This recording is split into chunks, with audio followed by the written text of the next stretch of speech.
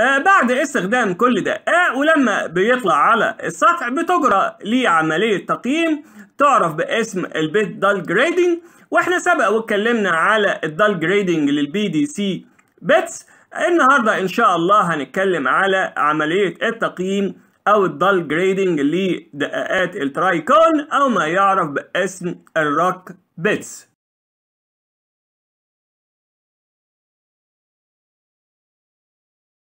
آه، وال rock bits عبارة عن مجموعتين كبار اللي فرق ما بينهم في طبيعة ال cutting structure فإذا كان ال cutting structure عبارة عن بروز من جسم ال cone على هيئة سنة يعني الاتنين مصبوبين مع بعض فده بيعرف باسم ال milled tooth bits المجموعة الثانية اللي هي ال insert bits وفيها ال cutting structure عبارة عن أجزاء منفصلة بيتم إضافتها إلى ال cone تحت ضغط. نخش في التفاصيل بتاع عملية ال dull grading في بعض النقاط الهامة نحب نلفت النظر إليها لأن هنحتاجها بعد كده أثناء كلامنا عن التقييم.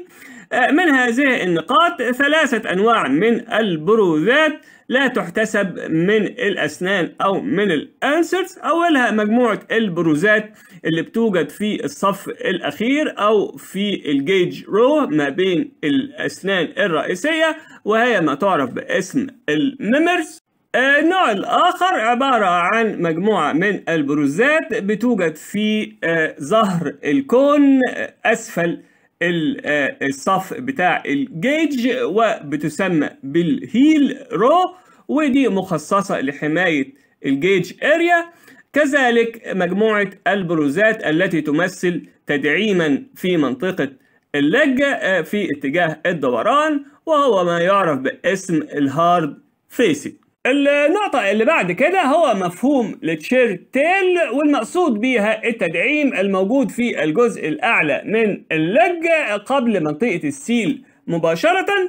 وسبب تسميته بال shirt tail إن هو بيشبه الجزء المتدلي من التيشيرت أو القميص أسفل منطقة الخصر اللي بيغطي الجزء الأسفل من الجسم. آه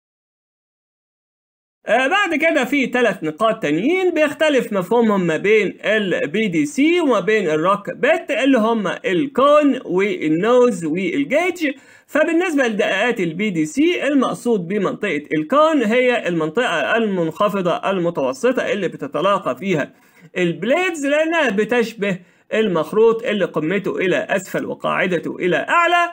بعد كده منطقة ال nose بالنسبة لل PDC هي أعلى منطقة إلى الخارج من ال cone. المنطقة الجيج هو آخر آه cutter آه بيوجد في ال crown واللي بيحدد القطر بتاع الدقائق أما بالنسبة لل rock bit فال cone هو المقصود به جسم المخروط نفسه بما يحتويه من أسنان أو inserts وال nose هو الجزء المدبب من المخروط ومنطقة ال nose هي منطقة تجمع هذه الثلاثة أجزاء. أما الجيج فهو المقصود به الصف الأخير على المخروط إلى الخارج واللي بيمس دائما جدران البير. وإذا كان بضدها تتبين الأشياء زي ما قال المتنبي فلو حطينا الصورتين جنب بعض هيتضح هذه النقاط بصورة أوضح. ولو بصيت على منطقة ال nose في الثلاث مخاريط هلاحظ إن لا تحتوي على نفس العدد من الأسنان أو ال inserts ولكن واحد فيهم بيحتوي على عدد أقل من الأسنان أو ال insert قد تصل إلى سن أو insert واحد بيسمى ال spear point وال cone اللي فيه هذه ال spear point هو ال cone رقم واحد. ولو لفيت في اتجاه عقارب الساعة هيبقى ال cone اللي بعديه رقم اتنين ثم رقم تلاتة. آه وال teeth أو ال inserts بتترتب على ال cones على هيئة صفوف دائرية من الداخل إلى الخارج. الصف القريب من ال nose هو ال nose row والصف الأخير اللي هو بيمس جدران البير هو ال gauge row وأي صفوف تانية ما بينهم بتبقى هي ال middle rows. وال inserts أو ال teeth الداخلية هي مجموعة الصفوف ما بين منطقة ال nose وما بين منطقة الوسط بينما ال inserts أو ال teeth الخارجية بتتمثل في ال gauge row فقط. وعملية التقييم بعد كل استخدام بتديني معلومات عن حالة البير وعن مدى كفاءة عوامل التشغيل وكفاءة الدقاق ومناسبته للصخور اللي بيحفرها ويا ترى ممكن أستخدم نفس البرنامج مع المنطقة المجاورة ولا لا؟ The appearance of a bit at the end of its run can reveal much about hole conditions, operating practices, and the effectiveness of the bit program, and can provide valuable clues to help improve drilling performance when similar formations are encountered. وأول ما ظهر عملية التقييم أو ال rock bit dull grading كان في الوقت اللي ال mill tooth bit هو الدقاق الشائع وكانت مخصصة لتقييم حالة الأسنان وحالة ال bearing وحالة الجيج ولذلك جت من هنا التسمية TBG ومع استمرار التطور وظهور أجيال جديدة من الدقاقات وظهور برامج الكمبيوتر اللي ممكن تدي نتائج أكتر عن طريق إمدادها بمعطيات أكبر. تم تقسيم النظام القديم المحتوي على ثلاثة خانات TBG إلى نظام جديد بيحتوي على ثمانية خانات. الأربعة الأولانيين منهم بيصفوا حالة ال teeth بينما الخامس بيوصف ال bearing السادس بيوصف الجيج. والسابع أي مواصفات أخرى خاصة بجسم الدقاق بينما الثامن بيذكر سبب سحب الدقاق من البير. أه ولكي أقوم بعملية التقييم بقلب الدقاق بحيث إن ال cones تبقى في مواجهتي. أدور على ال cone اللي بيحتوي على أقل عدد من الأسنان أو ال spear point وهو ده ال cone رقم واحد. أعلم اللي بعديه في اتجاه عقارب الساعة رقم اتنين. ثم رقم ثلاثة. أبدأ بفحص كل cone على حدة أبص على الأسنان وأشوف قد إيه اختفى أو اتاكل من الارتفاع بتاع ال insert أو ال teeth. أديله رقم من 0 إلى 8 على حسب الدليل اللي قدامي وأسجله دائما منسوبا إلى الرقم 8 أه بدور على ال dulling character الأكثر شيوعا ما بين الأسنان أو ال inserts وبسجلها في العمود الثالث زي ما هو في الدليل اللي قدامنا. أه واللي ممكن تكون تآكل طبيعي نتيجة عملية الحفر حيث إن الدقاق غير مناسب للصلابة بتاعة الصخور أو إنها تكون مكسرة نتيجة عملية الاهتزاز أو ال vibration أو تكون إنها وقعت من مكانها lost teeth نتيجة في عيوب الصناعة. ولو دققت النظر ولقيت شبكة من التشققات أشبه بشبكة خيوط العنكبوت زي الصورة اللي قدامي. دي بتعرف باسم ال heat checking ودي بتكون نتيجة تأثير الحرارة نتيجة الدوران السريع وعدم التبريد الكافي وغالبا بتظهر مع الدقاقات اللي استخدم معاها المواتير.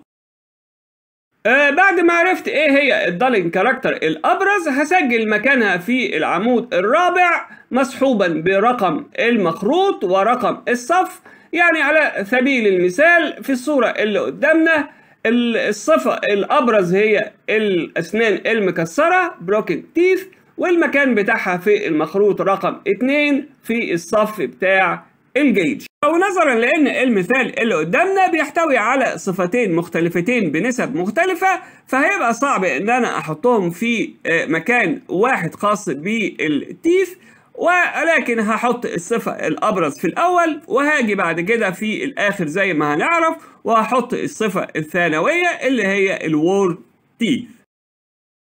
آه بعد كده بنوصل إلى ال column الخامس واللي فيه بنسجل حالة ال bearing واللي بتعتمد على نوع ال seal أو على نوع العزل. وأنواع ال seals وال bearing كنا اتكلمنا عليها بالتفصيل لما كنا بنتكلم على ال tricone classification عموما في المجموعة الأولى اللي هي non-sealed واللي غالبا بتكون mill tooth bits آه بتاخد آه تقييم من 0 إلى 8 على حسب حالة ال bearing أما في المجموعة الثانية اللي هي ال sealed bearing ودي غالبا بتكون ال insert bits فبتاخد إما effective إذا كنت بقدر ألف ال cone بس بصعوبة أو failed إذا كان ال cone وقع أو بلف بسهولة أما لو ما كنتش قادر أحدده فبديله رقم n وزي ما إحنا شايفين ان الصفات اللي قبل كده كنت بعينها بالنظر اما هذه الصفة فلا بد من الشعور بها وذلك عن طريق اليد This dull characteristic is determined not by look, but by feel. If you can easily hand turn a cone, then the seals in that cone have failed. Also, if a cone has seized and cannot be turned, the seals have failed. Generally, seals are still effective if the cone can be turned with firm hand pressure.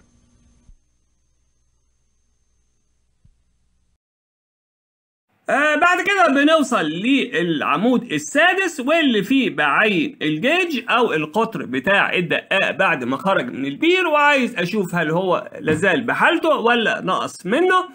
آه ودي بتتم عن طريق ال gauge ring بحطها زي الصورة اللي قدامي. بركن على اتنين من ال cones في الصف الأخير وبسحب في اتجاه ال cone الثالث وعين المسافة ما بين ال ring وما بين ال gauge row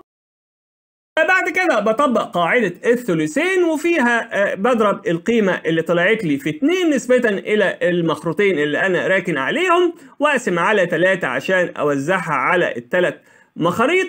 النتيجة اللي بتطلع لي بنسبها إلى ال 16 من البوصة. يعني على سبيل المثال لو أنا قست المسافة ولقيتها ربع بوصة هضربها في 2 وأقسم على 3 تبقى 3 على 16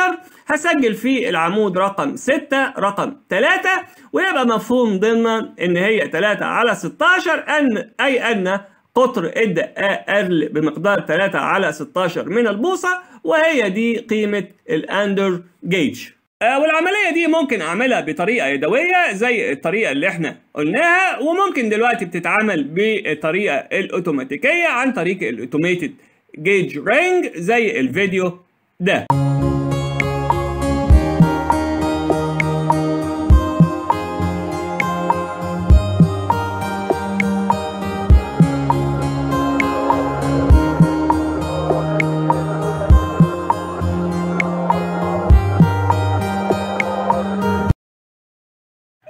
بعد كده للخانة السابعة ودي مخصصة أساسا للظواهر الخاصة بجسم الدقاق ولكن ما يمنعش إن أنا أسجل فيها بعض الخصائص الثانوية الخاصة بال inserts أو ال cutters اللي ما قدرتش أسجلها في الأربع خانات الأولانيين. يعني بالنسبة لل cones ممكن أسجل فيها خصائص زي إن ال cone فيه كسر broken cone أو في شق أو شرخ cracked cone أو إن ال cone نفسه وقع lost cone ببص على منطقة ال nose وبشوف هل هي طبيعية ولا هل هي متاكلة بدرجة كبيرة فيما يعرف باسم ال cored cone أو ال cored nose. وممكن تكون تبدو طبيعية ولكن ال cones متداخلة مع بعضيها بدرجة كبيرة فيما يعرف باسم ال cone interference وفي الحالة دي بيصعب دوران الكون باليد مهما حصل. يعني بصفة عامة أنا بتفحص ال cones جيدا وبدور على أي علامات غير عادية زي ال junk marks مثلا أو ال flat spots إلى جانب الصفات اللي إحنا قلناها قبل كده. آه بعد كده بنظر نظرة جانبية للدقاق وبتفحص كل leg على حدة وبدور على أي junk marks أو علامات للتآكل خصوصا في منطقة ال shirttail أو منطقة ال hard facing آه ولو الدقاق أثناء خروجه على السطح خد متغطى آه جزئيا أو كليا بنتائج الطفلة ونتائج الحفر. بذكر إن الدقاق كان balled up ودي بتشير إلى إن ال hydraulics بتاعت الدقاق ما كانتش في أحسن حالتها. كده نكون سجلنا في العمود رقم سبعة. كل الخواص الأخرى الخاصة بجسم الدقاق والمخاريط والظواهر الثانوية الخاصة بال cutters اللي أنا ما سجلتهاش في الأربع خانات الأولانيين ولا بد من استخدام الاختصارات الموجودة في الجدول على اليمين عشان نكون تابعين للنظام القياسي. وبعد ما نكون سجلنا كل ال dull characters اللي ممكن أشوفها أو أقيسها أو أحسها فاضل نسجل بقى سبب سحب الدقاق إلى السطح واللي ممكن يكون واحد من الأسباب اللي موجودة في الجدول أقصى اليمين. آه وبعد ما نكون عملنا تقييم شامل للدقاق وذكرنا فيه كل الظواهر اللي أنا شفتها سواء كنت مدرك لسببها أو لأ النتيجة هتكون حاجة من اتنين إما إن ده تدرج طبيعي نتيجة الاستهلاك الطبيعي في عملية الحفر أو إن يكون في حاجة غير طبيعية لابد من النظر فيها والبحث عن سببها. Even uniform wear of bearings and cutting elements and minimal gauge loss indicate that the proper bit was selected and good drilling practices were followed. On the other hand, abnormal wear characteristics are indicative of drilling problems. والدقاق اللي قدامنا مثال جيد على عدم الاختيار الموفق للدقاق لكي يتناسب مع عملية الحفر آه، الحقيقة الاختيار ده كان غير مقصود لأن كان المفروض أن الدقاق ده هينزل في الجزء السطحي من البير واللي عادة بيحتوي على صخور مفككة وبالتالي تم اختيار ميلك توث بيت آه، الأسنان بتاعته كبيرة آه، لسهولة الحفر المتوقعة ولكن فوجئنا بعد حوالي آه، 150 إلى 250 قدم إن ابتدينا نحفر في صخور عالية الصلابة. تم تحديدها فيما بعد إن هي صخور البيزمنت أو الصخور النارية فكانت النتيجة إن الدقاق خرج بالصورة اللي قدام